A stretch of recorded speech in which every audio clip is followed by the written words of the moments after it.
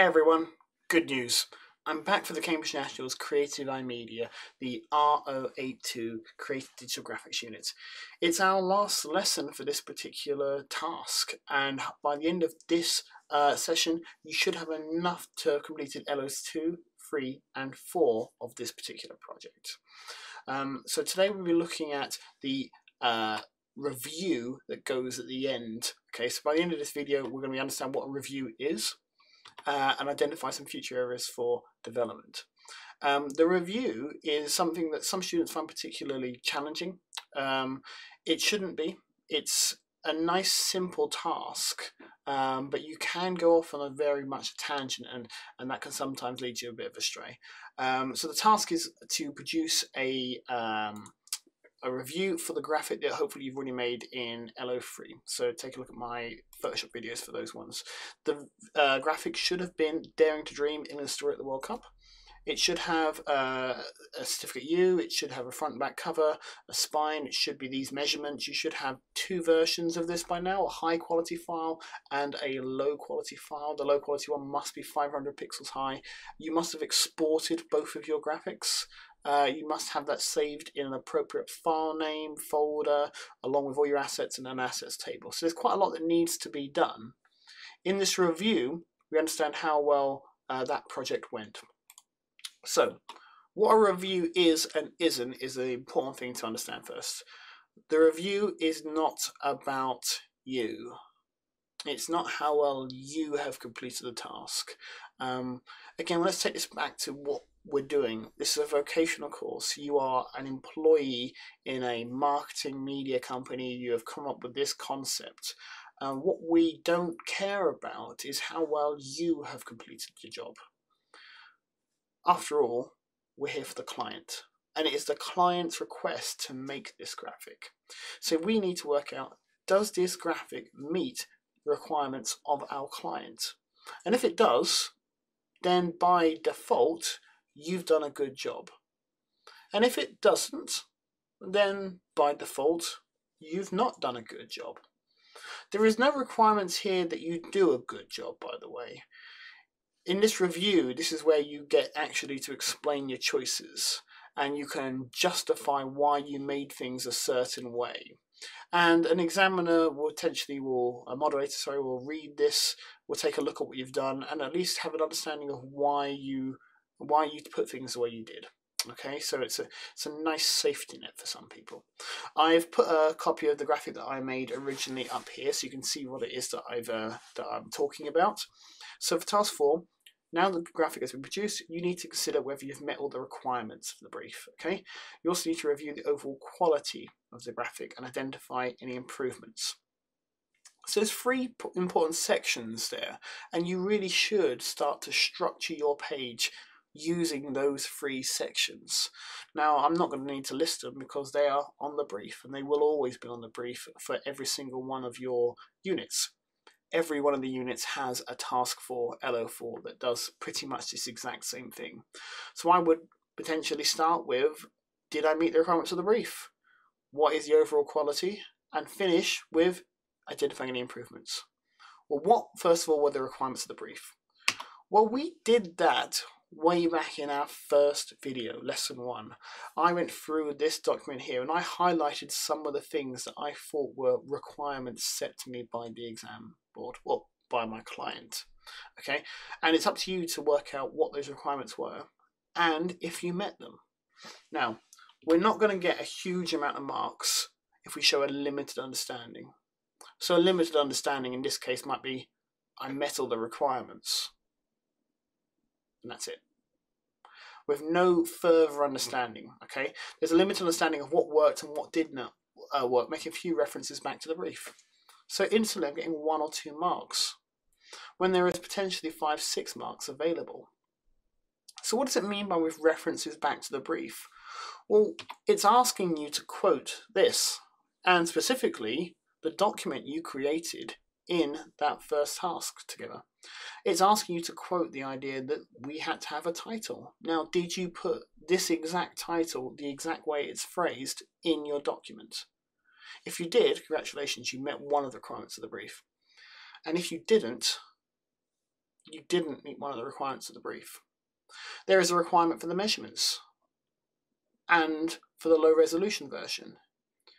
Did you do all of those? If yes, then you met the requirements of the brief. Congratulations, well done. And if you didn't, well, you didn't meet the requirements of the brief. Okay? The England women's football team and their journey in the recent World Cup. Is it obvious to anyone looking at your DVD cover, your Blu ray cover, that it is women's football and the World Cup? Well, let's take a look at mine. If you saw that graphic, would anybody look at that and think that's potentially the men's football team? No? Okay, that's good. I've definitely highlighted women's football. Is there anyone there that would think that was a sport that's not football? No, I'd hope that you'd point out the fact that there is a nice clear football in there, even if you've not heard of, of this particular tournament. Now, when you see this trophy here and logos that look like this one here, is anyone here thinking that this is something other than a World Cup? Even if you hadn't seen the World Cup or seen the trophy or seen that logo, the constant mention of the world, world, the word World Cup, along with trophies and logos, a big football, football here, these are all things here that are subtly, in some ways, communicating requirements of the brief that I have put Daring to Dream, England's story at the World Cup, England women's football team, World Cup. Okay, these are all requirements that I'm not specifically maybe screaming out that this is correct, but by people looking at the graphic, they can see that I've met it. And in order to get the five, six marks for this one here, I need to claim ownership of that. I need to say, well, yes, I have met the requirements. It is about the England women's football team. I have done this by including several different images of England football players in various different poses. I've got an action shot of one of the players actually kicking a football to make it really clear that this is not the England women's rugby team or cricket team, for instance. Okay, the fact that I've got uh, lots of images of the team together. Um, I've got images of the trophy for those people who do know about it. Now, some of this is going to be about the target audience as well. I've not really been specific about who my target audience was. I'm very much aiming this at a group of people who know about women's football. Okay, so I'm naming this at people who are fans of the team, who are fans of the sport, who potentially would know who this person is. Okay, and the idea is that hopefully they would see this person front and center, and that would really scream to them, yes, this is what I want to see. I remember when she was in the World Cup. I remember that on that particular match he did this. I'm going to watch this game. I'm going to buy this Blu-ray to remember it. Okay, I'm aiming it at fans because in one of the things I'm putting here, I've got seeing behind the scenes at training camp. You know, fans of the sport would very much like to see behind the scenes of their stars that, that you know who they who they're big fans of, so that way you can see what's going on. Okay, this is aiming at that particular group. Okay. Other requirements, width, height, and measurements. Well, take my word for it that I did it right. But in the real coursework submission, the way that that is assessed is by looking at the graphics that have been produced. Now, you shouldn't be submitting Photoshop files or graphic files like that. Okay, um, if they're bespoke files made by a graphic piece of software, then that's not going to work. You're only going to get marks for choosing to export these images as a particular file type, a file type that you've chosen in LO1, for instance. Okay, so that could be bitmap, it could be a JPEG, could be a PNG, could be a TIFF, could be a GIF, could be any number of different graphic uh, files.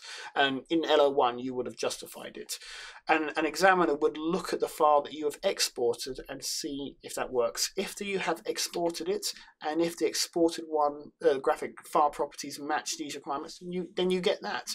And in your review, you're going to claim it, saying, I was chosen to do this graphic, it needs to be this size, it needs to have this sort of requirements, and look, I've achieved that. Okay, so I'm meeting these requirements. It needs to have a U certificate. Well, not only did I put a U certificate, I've put it three times, although that graphic's got a little bit dark for some reason. What, oh, that's where I've copied it from the other one. The other two are definitely the right colour and shape and size, but I've got them there and I've got them in the legal responsibility areas, okay, where I've got them front, back and on the spine. So not only have I met uh, the requirement to make it a U certificate, I've also harked back to the legal responsibilities from LO2 where I had to talk about, you know, data protection and copyright, but also the fact that this is a commercial product. I do need to have those U certificates on the graphic. So let's move on to identifying how my graphic could be improved.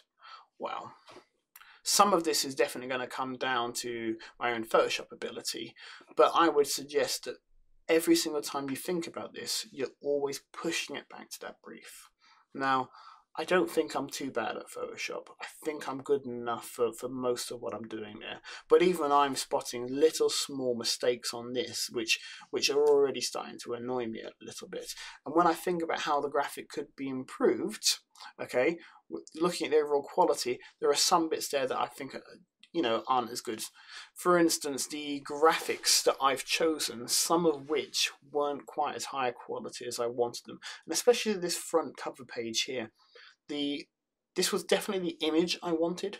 I, I really liked the, the action in this shot, the fact it had the football in shot. It, was, it, it looked like a really powerful image to me, but it wasn't quite the high resolution that I wanted. So how could this graphic be uh, graphic be improved? Partly it's the choice of images. Now that is my fault, but it's my fault and it's to do with the brief. Okay, this is a commercial product and I was not provided with any graphics. Okay, this was not the FA did not provide me with any graphics to use in this. Not expected at this point. This is a idea of what it could look like. But one uh, identifying ways and describing areas of further development is that I would take this design back to the company that has commissioned me. I would say, this is what I'm expecting. Uh, these are all copyrighted images that I've taken from other websites, but I'm assuming that the client who's asked for this has got the rights to show these films, these uh, matches, these football players, and that they would have their own personalized, high quality images that I could use that they would own copyright for. And for that, I would then ask to see one which was of a similar styling to this, uh, but you know, was was higher quality. Uh, images there, you can see where I've been quite shoddy with cutting out. There's a little bit of green from the grass around her knee, and this is nitpicking a bit. You know, it's where I've not really cut out as quite as well as I should have done. Okay, so overall quality, I think I did a good job. I think I did a great job. But there are things that can be improved, can be tweaked, can be changed. Reviewing areas, uh, review identifies areas for improvement and future development of the final graphic, which are wholly appropriate and justified. Okay, it is appropriate to ask my client, well, I don't own the rights to the Women's World Cup. Do you? And if you do, can I have those images and can I use them in my graphic? Okay, now that's going to be very different depending on what you've chosen to do. But think about taking a look at it and going, is there anything there where you think, you know what, this isn't quite how I would want it to be, or I was thinking about doing this, but um, but I, it wasn't, I wasn't able to do that for some reason. If that's something that you can justify, you're going to get uh, high marks for this one. Okay, so there is six marks available. Those six marks are quite nice to have, uh, so it's worth putting some effort into it. And a good review will probably have about a page of text on like a Word document file. Okay, really make sure that you're you're claiming as much of the points as you can. Okay, if you've not demonstrated a thorough understanding of the brief, then you're automatically throwing away potentially four or five marks. By the end of this uh, week's work, I would like to see you complete a review of this of your graphic. I would like that review for my students to be submitted on Show My Homework. For anyone else on the internet, please talk to your teacher who will show you how they would like their work submitted. Thank you very much, and I will see you on the next unit. Goodbye.